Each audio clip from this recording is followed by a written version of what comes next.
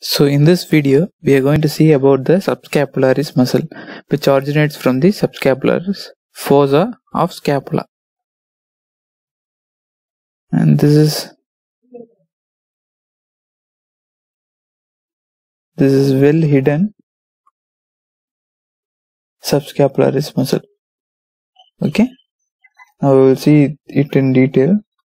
So subscapularis muscle is a large triangular muscle which fills the subscapular fossa of, of the subscapula and the muscle of the rotator cuff.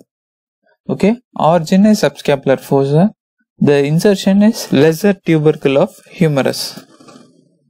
The innervation is provided by the upper and lower subscapular nerves. Action is medial rotation of the head of humerus, prevents anterior displacement of humerus and the blood supply is subscapular artery. Now we will go a little bit deep so that you can see everything. So the blood supply, this is the subscapular artery, then the innervation, upper subscapular nerve C5, C6, then the action will be medial rotation along with the pec, deltoid,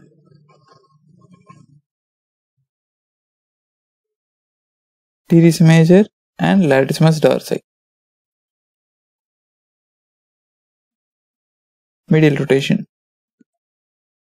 Thank you.